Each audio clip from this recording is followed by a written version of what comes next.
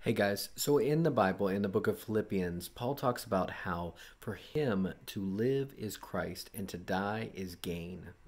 And what he means by that is that whenever he's living on earth, to live is to be as Christ was. And I think we've we've talked about this before, um, but I wanted to bring up an analogy of what this is like. Look, we are not the sun. The sun is a huge, bright, shining star, right?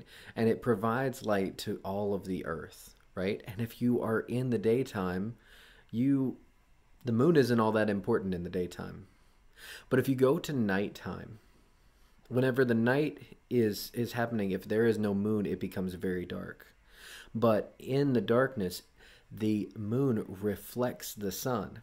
And so it's not the moon that's generating the light, but by reflecting the light of the sun, it brings light to the darkness.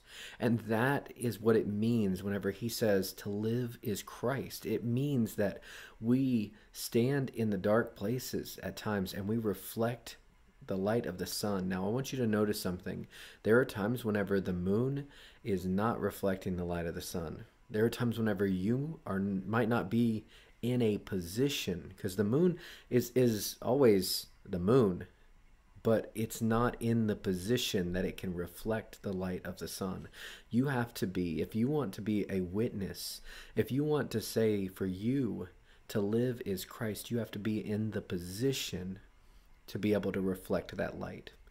And, you know, like if if not, then you know, like the the darkness gets to be dark but if we want to draw people into the light, then we have to reflect the light of Christ.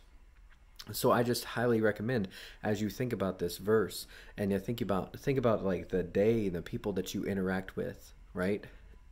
Think about what out there is darkness. And are you shining the light of Christ?